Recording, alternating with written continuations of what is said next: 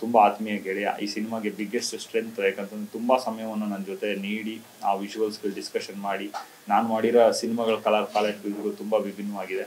And cameraman ನನ್ನ ಸ್ವಾಮಿ ಅವರು ಇರ್ಬೋದು ಆ್ಯಂಡ್ ನನ್ನ ಕಲಾ ನಿರ್ದೇಶಕರು ನಮ್ಮ Ravi ಸಂತೇಕರು sir and entire team especially action choreographers action master fight ಮಾಸ್ಟರ್ಸ್ಗೆ ಮತ್ತು ನನ್ನ ಕೊರಿಯೋಗ್ರಾಫರ್ಸ್ಗೆ ಎಲ್ಲರೂ ಈ ಸಂದರ್ಭದಲ್ಲಿ ನಾನು ನೆನೆಸ್ಕೊಳ್ಳೋಕೆ ಇಷ್ಟಪಡ್ತೀನಿ.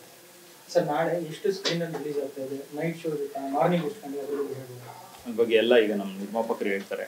ಬಟ್ ನಾಲ್ಕು ಸಾವಿರಕ್ಕಿಂತ ಹೆಚ್ಚು ಸ್ಕ್ರೀನ್ಗಳಲ್ಲಿ ಸಿನಿಮಾ ತೆರೆ ಕಾಣುತ್ತೆ ಅನ್ನೋದನ್ನ ನಾನು ಹೇಳಬಲ್ಲೆ. ಯಾಕಂತಂದರೆ, ಹೈದರಾಬಾದಲ್ಲೂ ಕೂಡ ತುಂಬ ದೊಡ್ಡ ರಿಲೀಸು ಆ್ಯಂಡ್ ಯು ಎಸ್ ಎನ್ನಲ್ಲೂ ಅಷ್ಟೇ ತುಂಬ ದೊಡ್ಡ ರಿಲೀಸು ಎಲ್ಲವೂ ಈಗ ಎಲ್ಲ ಮಾಲ್ಸ್ಗಳಲ್ಲೂ ಕೂಡ ನಂಬರ್ ಆಫ್ ಶೋಸ್ ಜಾಸ್ತಿ ಇದೆ. ಸಿಂಗಲ್ ಸ್ಕ್ರೀನಲ್ಲೂ ನಂಬರ್ ಆಫ್ ಶೋಸ್ ಜಾಸ್ತಿ ಇದೆ. ಸೊ ನಾಲ್ಕು ಸಾವಿರಕ್ಕಿಂತ ಹೆಚ್ಚು ಶೋಸ್ಗಳಾಗುತ್ತೆ ಈಗಾಗಲೇ ನಾವು ನೋಡ್ತಾ ಇದ್ದೀವಿ. ಚಿತ್ರಮಂದಿರದಲ್ಲಿ ಮದ್ವೆ ಥರ ಎಲ್ಲ ಜಿಲ್ಲೆಗಳಲ್ಲೂ ಕೂಡ ಥಿಯೇಟರ್ಗಳನ್ನು ರೆಡಿ ಮಾಡಿ ಅಭಿಮಾನಿಗಳು ನಾಳೆ, ಅಂದರೆ ನಾಳೆ ರಿಲೀಸ್ ಆದಾಗ ಸ್ವಲ್ಪ ಅನ್ನ ಸಂತರ್ಪಣೆ ಆಮೇಲೆ ರಸ್ತೆ ಆಗ್ಬೋದು. ಸುಮಾರು ಕಾರ್ಯಕ್ರಮಗಳನ್ನು ಮಾಡ್ತಾ ಇದ್ದಾರೆ. ಸೊ ನೀವು ಯಾವ ಥಿಯೇಟರ್ಗಳಿಗೆ ಹೋಗಿ ವಿಸಿಟ್ ಕೊಟ್ಟು ವರ್ಷಗಳಿಗೆಲ್ಲ ಏನು ಪ್ಲಾನ್ಸ್ ಇದೆ?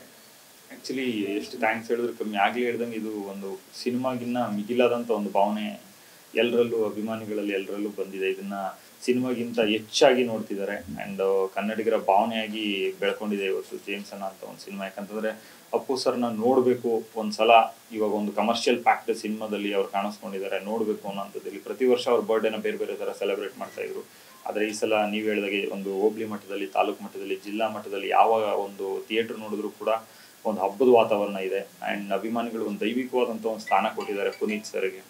ಆ್ಯಂಡ್ ಒಂದು ಜಾತ್ರೆ ಜಾತ್ರೆ ಥರ ಒಂದು ದೇವರ ಜಾತ್ರೆ ಥರ ಎಲ್ಲ ಒಂದು ಸಿದ್ಧತೆಗಳನ್ನ ಮಾಡ್ಕೊಂಡಿದ್ದಾರೆ. ಎಷ್ಟೋ ಜನ ರಕ್ತದಾನ ಶಿಬಿರವನ್ನು ಹಮ್ಮಿಕೊಂಡಿದ್ದಾರೆ, ಅನ್ನದಾನ ಹಮ್ಮಿಕೊಂಡಿದ್ದಾರೆ.